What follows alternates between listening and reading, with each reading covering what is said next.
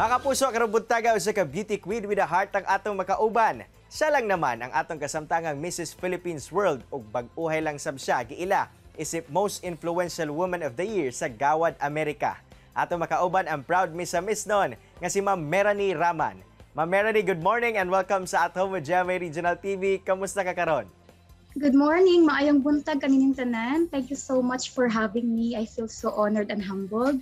I am doing good. Currently, I'm at the Terminal 2 because I have to uh, take my flight. But yeah, I'm very excited. Thank you so much. And sabi na sa atong mga viewers dira karon, maayong buntag kaning tanan na mahaw na ba mo? Ma'am Melanie, sa paunsang paagi sa baka na sulod sa pageantry o ga- ngano sab nimo na isipan nga mosulod ni ini nga industriya? Okay, so um, first, I actually when I gave birth, gave birth, I suffered from postpartum depression, and my husband, who is a medical doctor, he told me that I think you should join the pageant, and I said why, and he said, I think it will help you to overcome your depression. So that's when it started, and now I'm you know representing our beautiful country Philippines at the Mrs. World pageant. Sa imong pagsulod sa industriya, Ma'am Melanie, kamusta ba ang imong experience? O karon, aduna ba kay ginapangandaman? Okay, so um, it's very uh, challenging but rewarding.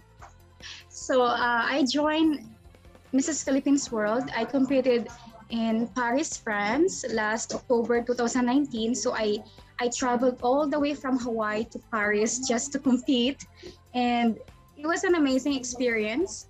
So I I actually went through a lot to to win the title, and I think with hard work, determination, God will you know uh, reward you. So yeah, and right now I am very busy preparing for Mrs. World pageant that will be held in January uh, 15 in Las Vegas, Nevada, USA. So I have to prepare with my walk, passerella walk, um, balanced diet, of course, healthy diet, exercise, um, with uh, also with the outfits and everything. So yeah, and also with the charity as well. Ikaw ang kasamtagang Mrs. Philippines World. Unsa-unsa ba ang mga tahas nga nakalakip sa imong corona? Ug paunsa nimo ginagamit ang imong platform alang sa atong komunidad? to to be uh, Mrs. Mrs. Philippines World, I have to do a lot of charity works, and, and I have my I open my nonprofit organization, which is Your Love Foundation for postpartum depression awareness, and currently I've been working with the politicians, especially here in the Philippines as well as in Hawaii, and um, doing my very best to spread awareness not only in the Philippines but all over the world. Ma'am Melanie, ning bag-o lang giila sab ka isip most influential woman of the year sa Gawad Amerika. Please tell us more about it. Kamusta ba ang feeling nga ikaw gayod ang napilian ug paunsa ba nimo nakuha ang maong pag-ila?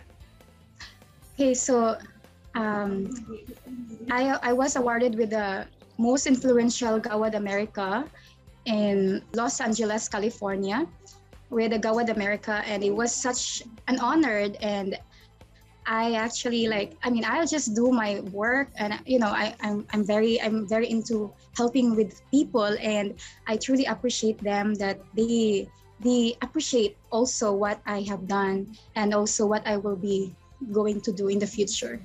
Daghang salamat Mrs. Philippines World, Melanie Raman sa imong oras kagihatag dinhi sa At Home with GMA Regional TV. Nice meeting you ma'am and more power sa imong mga kalihukan. Kini ang At Home with GMA Regional TV.